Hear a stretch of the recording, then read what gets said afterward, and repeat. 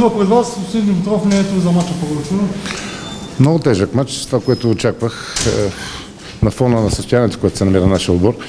Доста лошо физическо отношение. Е, за нас най-важното беше да спечелим този матч.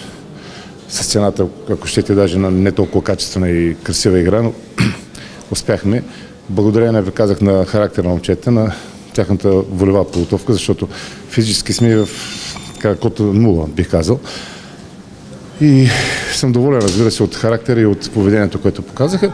Като качество на игра изобщо не коментирам, не говоря, защото ви казах, сме долу далече от нашето оптимално състояние. А, дали е заслужен или не, не мога да кажа. Според мен беше равностоен двобой. Така имахме шанса да отбележим два гола и на тази база спечеляхме.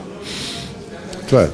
Какво искате да промените от към състав, ако изобщо има нещо нормално в подготовката, защото този сезон тотално се обърка? Точно в този цикъл, в който се намираме, нищо не мога да променя, ако трябва да бъда честен, защото ние играем през 2-3 дена матчи. В рамките на 14 дни ние играем 5 мача. Лошото, че в изключение на 4-5 човека, които са водили нормален тренировъчен процес, всички останали бяха в карантина и изобщо не са готови. А и няма как да тренираме, защото ви казах след два дена, три дена предстои матч. И до края на, на този цикъл ще изкараме, благодарение, казах, на характера и на, на волята на, на тези момчета, защото по друг начин аз не виждам как може да излезе тази ситуация. Има ли страх от контузии в тази? Естествено, че има страх. Вие видяхте, че се получи контузия на Карлос Хенес. Когато един човек не е готов, когато не е подготвен, нормално е да получава контузия.